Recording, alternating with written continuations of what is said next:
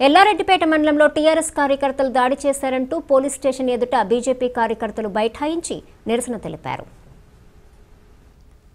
సన్నరకం వరిధాన్యానికి మద్దతు ధర కల్పించాలని మంత్రి కేటీఆర్కు దరఖాస్తు ఇవ్వబోగా టీఆర్ఎస్ కార్యకర్తలు దాడి చేశారంటూ బీజేపీ ఆరోపించింది.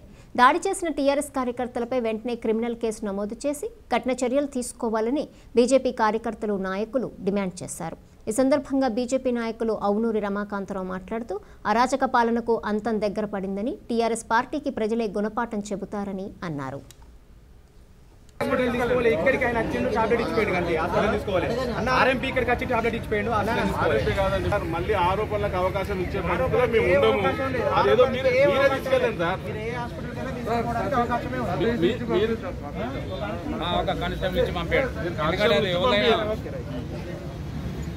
రూమ్లు అడిగినందుకు నేను లోపల వేసారా. అమ్మా ఎంతసేపు అయిందమ్మా లోపల ఉంచవచ్చు నేను టూ అవర్స్ నుండి లోపల ఉంచారు. ఇలా షుగర్ పేషెంట్ ఎవరమ్మా? అయినా పంపిస్తలేరా అమ్మా? టీఆర్ఎస్ కార్యకర్తలు నా మంత్రి. అంత అభద్రతా భావం ఉన్న మంత్రి అనేటోడు ఎందుకు రావాలా ఎందుకు అరెస్ట్ చేయాలి? చేత కాకపోతే రాజీనామా చేసి ఫామ్ హౌస్ రమ్మంటాడు అయ్యా కొడుకులు ఇద్దరు. ఎందుకు ఇంత హింసించడు?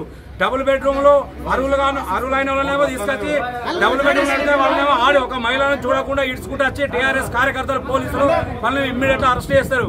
నువ్వు ఒక్కొక్క దగ్గర ఉన్నోనికి ఏమో లక్ష రూపాయలకు ఒకటి లక్ష రూపాయలకు ఒక బెడ్రూమ్ డబుల్ బెడ్రూమ్ అమ్ముకుంటారు. ఇదా మీ న్యాయం అయ్యా కొడుకులది?